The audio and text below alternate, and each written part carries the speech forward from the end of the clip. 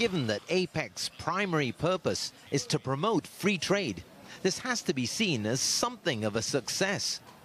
In the end, the 11 countries still negotiating the biggest free trade deal the region has ever seen weren't able to ratify the Trans-Pacific Partnership at the APEC leaders meeting.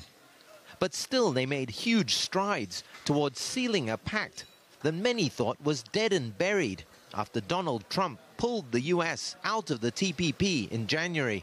The ministers issued a joint statement affirming that countries have agreed on the core elements of this agreement in the direction of keeping the content of the original TPP agreement, while allowing member countries to temporarily suspend a number of obligations. So work still to be done, but better than a rushed deal. There are lots of areas where if you rush to agree, high standards will be sacrificed.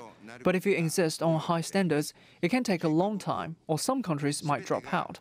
So all 11 countries are on board, and this will send out a very strong message to the US and other countries in the region. The TPP is not the only big trade deal in the works.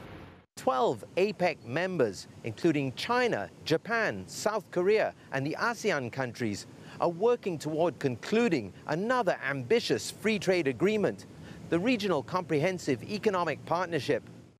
Speaking Friday, Trump seemed to accuse several fellow APEC members of unfair trade practices and made it clear he opposes multi-nation deals.